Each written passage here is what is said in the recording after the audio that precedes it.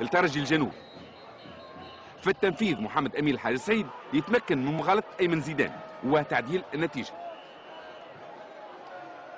هدف أعاد اللقاء إلى نقطة بدايته أدخل.